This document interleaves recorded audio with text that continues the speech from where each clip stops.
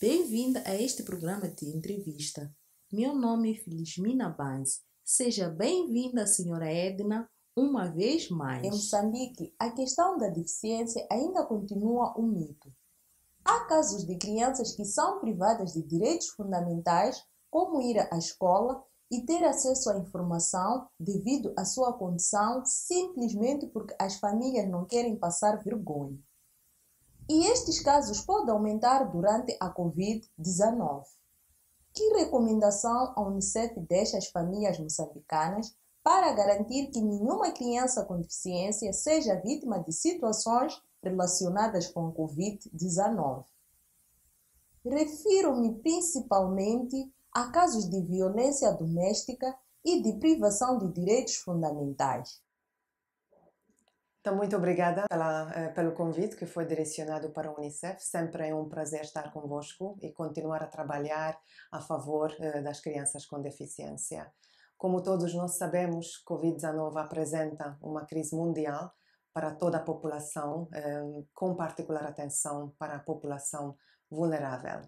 Por isso, as nossas ações devem ser reforçadas e aceleradas e olharmos para como podemos apoiar a população vulnerável, incluindo as pessoas com deficiência, para responder a essa crise mundial. A Unicef lança um apelo para todos os nossos parceiros mundiais e locais para que possamos, antes de tudo, responder para essa crise mundial. A nossa resposta, todos nós sabemos, antes de mais, nunca é demais repetir, deve uh, concentrar-se na prevenção do uh, alastramento da doença. Demos, teve, temos que usar as nossas máscaras faciais, temos que exercer o distanciamento físico e, uh, naturalmente, temos que exercer a prática de lavagem das mãos. Mas, como a Felizmina também perguntou, é muito importante olharmos para as consequências eh, secundárias, o impacto que essa doença tem na, nas populações, sendo como, por exemplo, uma dos impactos eh, secundários graves, aumento do risco da violência para as crianças, incluindo com eh, as crianças com, com deficiência é muito importante de eh, trabalharmos em conjunto como prevenir que as crianças possam ser vítimas de, de violência. E devo eh, partilhar que uma das ações eh, mais importantes é assegurar que as crianças tenham acesso à informação fidedigna, informação confortante, eh, informação atualizada sobre a própria doença e os riscos de, de contágio deste, desta doença. Esta informação tem que ser transmitida numa forma acessível, numa forma fácil, amigável para, para a criança, para que as crianças com deficiência também possam compreender as mensagens e possam se sentir à vontade, sem estresse, sem ansiedade. Em casa, as crianças sempre têm que se sentir seguras os pais têm um papel muito importante de conversar com as crianças, carinhar, eh, dar o amor para que elas sentem-se eh, confortável. E, naturalmente, temos um, um, uma responsabilidade elevada quando olhamos para os órgãos da informação, mas também quando olhamos para os nossos parceiros de eh, serviços sociais, para os agentes de polícia, para que eles intervenham quando detectamos um caso uh, de, de violência. A imprensa é dos serviços que se mantém ativos em tempos de Covid e é o serviço que garante que as pessoas estejam informadas sobre os contornos desta pandemia. Qual é o plano de ação da Unicef para fazer o uso deste serviço durante a Covid-19 para garantir que nenhuma criança moçambicana com deficiência seja vítima desta pandemia? Penso que eh, tocou num aspecto muito importante, o acesso à informação.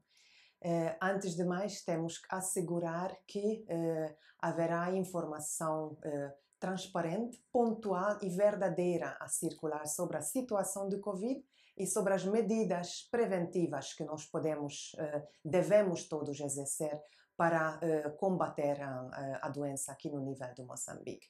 Esta informação deve ser transmitida numa forma acessível para uh, a população, com as crianças e os adultos, adultos com com deficiência. O papel do, dos mídias, tanto o mídia tradicional como também o mídia social, têm um papel muito importante de assegurar, por um lado, a informação eh, fidedigna, verdadeira, e depois assegurar que essas mensagens sejam passadas em veículos que podem ser acessíveis para eh, a, eh, a, a, a, população com, com deficiência. Eh, nós, da parte do Unicef, também apoiamos a definição dessas mensagens através de diferentes parcerias e apoiamos os parceiros que as mensagens cheguem até, até a população. Existem casos de crianças com deficiência que têm a mãe como a única cuidadora. Esta mãe é quem deve garantir o sustento na família. Deixando a criança em casa, ela fica sem nenhum cuidador. Por este motivo, muitas mães acabam levando as crianças ao seu posto de trabalho, expondo-as a situações de risco de contágio da Covid-19. Que recomendações deixa a estas mães, tomando em consideração este cenário todo? Acho que as crianças em deficiência consideram ser uma das, um dos grupos mais vulneráveis na nossa população, por vários motivos. Uma delas, porque em muitos casos elas só têm uma cuidadora, vivem com a mãe. Em, eh, mas também porque muitas uh, deficiências, infelizmente, estão também ligados a outras, outras doenças que uh, colocam essas crianças a maior risco a serem infectadas com, com Covid. Em relação da sua particular uh, pergunta, penso que é muito importante sensibilizar a sociedade em geral sobre os particulares, os riscos particulares que as crianças com deficiência que vivem com, com a mãe enfrentam. Gostaria de eh, lançar o, o, apelo para toda a entidade patronal, sejam públicos ou sejam privados, para que olhem para a situação de, de mães que têm crianças em deficiência, em, eh, crianças com deficiência em casa e criam condições de eh, que essas mães possam continuar a exercer o seu trabalho, ficando em casa e cuidando desta, desta criança. Caso isso não for não for possível, porque o, o, o, trabalho de, de uh, o trabalho da, da mãe é tem uma natureza que não não fixa, nós apelamos que as mães procurem uh, uh, formas alternativas de nunca deixar as crianças em casa sozinha e, se for possível, encontrar um cuidador que poderia ficar em casa com, com a criança nós uh, não aconselhamos levar as crianças uh, para, para a rua, uh, tendo em conta o, a, a, grande possibilidade de serem expostos a, ao risco de, de contágio com, com Covid. É muito importante olharmos sempre para as recomendações de medidas de mitigação que devem ser tomadas e colocamos o interesse superior da criança em, em frente a tudo. Muito obrigada. Estamos na reta final do nosso programa. Últimas considerações. Muito obrigada, Felizmina. Gostaria de, de fechar esse, essa nossa entrevista apelando todos vocês, todos nós, eh, para que juntemos ao, ao movimento mundial de Unicef, movimento Reimaginar, que convida todos os nossos parceiros eh, governamentais, não governamentais, parceiros de desenvolvimento, os mídia, para que em conjunto possamos colocar a criança no centro da, da nossa atenção, no centro da nossa agenda da resposta para a situação de, de Covid. Em primeiro, respondermos para ações pontuais para tentar um, eh, prevenir o contágio da doença depois fazemos as recuperações em conjunta, ações concretas para que a sociedade possa recuperar o mais rápido possível.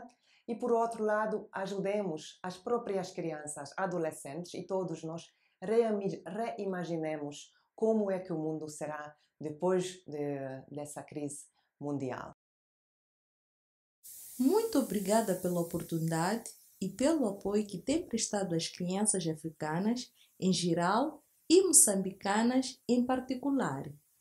Ao caro telespectador, agradecer pelo tempo. Até a próxima!